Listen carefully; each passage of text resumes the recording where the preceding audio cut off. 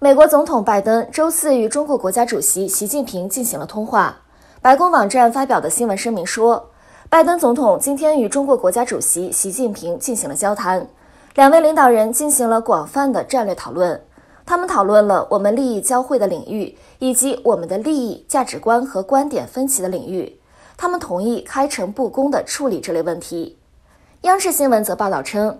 中国国家主席习近平九月十日上午应约同美国总统拜登通电话，就中美关系和双方关心的有关问题进行了坦诚、深入和广泛的战略性沟通和交流。习近平首先就飓风艾达造成美国多地人员伤亡和财产损失，向拜登及美国人民表示慰问。拜登对此表示感谢。习近平指出，一段时间以来，美国采取的对华政策致使中美关系遭遇严重的困难。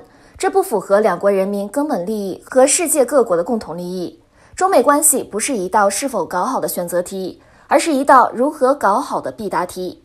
习近平阐述了中方在气候变化等问题上的立场，称两国应该协调和合作，同时挖掘更多的合作潜力，为两国关系增添更多积极的因素。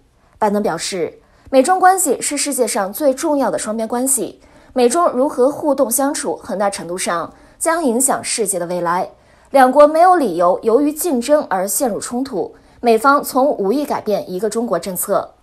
据路透社报道，这是习近平和拜登自二月以来首次通电话。在此之前，中美领导人之间已经有近七个月没有进行过直接沟通。美国政府高级官员表示，拜登和习近平进行了坦诚的沟通，通话持续大约九十分钟，双方讨论了经济问题。